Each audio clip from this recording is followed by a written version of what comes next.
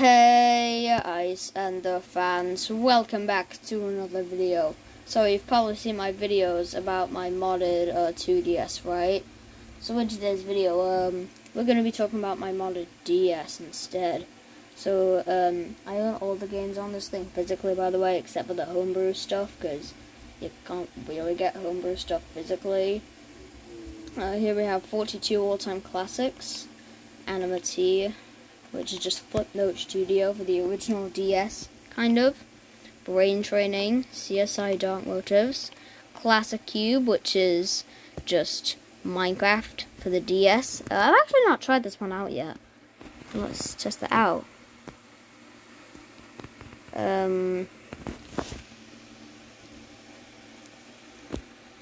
okay, yeah, this works pretty well, I guess.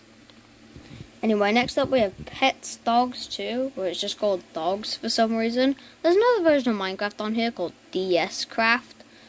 Um, here we have GM9i, Game & Watch Collection, the homebrew launcher, obviously. Iron Man DS, Kirby Superstar Ultra, great game. Uh, Lego Indiana Jones, Mahjong Quest. I don't know how to play Mahjong, that's just kind of, I just kind of have it. Mario Kart DS, Mario Party DS, Mario and Luigi Bowser's Inside Story, More Brain Training, uh, New Super Mario Bros, Nintendogs, PDSX, Pac-Man, Pocket Physics, Red Bull BC1.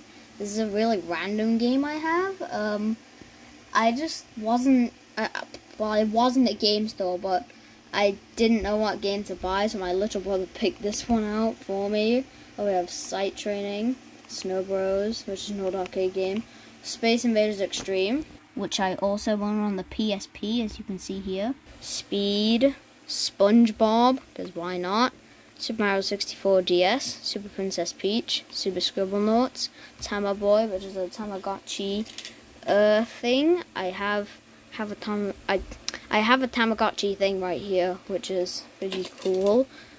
Um, Tetris Party Deluxe, The Simpsons game, which I also own on the PSP. Um, here we have The Sorcerer's Apprentice, Touchmaster, Yoshi's Island DS, Moonshell, Nintendows, which is like a Windows but for the DS, Moonshell again, and um,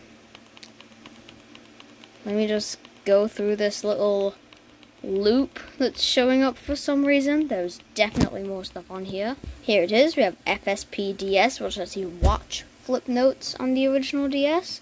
VGMDS and VGRDS, which lets you uh, make games.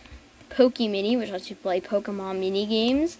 NES DS, which lets you play NES games. NGPDS, which lets you play Neo Geo Pocket games.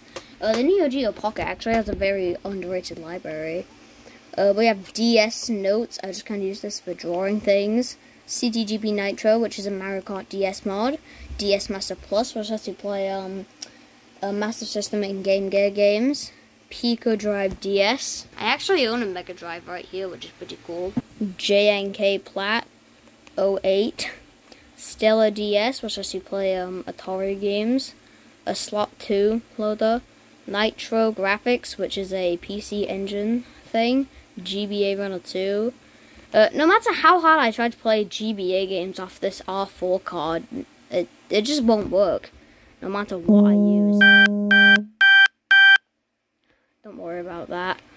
Uh, we have a SNES app. And finally, Game GameYob, which lets me play original Game Boy games and Game Boy Color games and Super Game Boy games. Anyway, bye!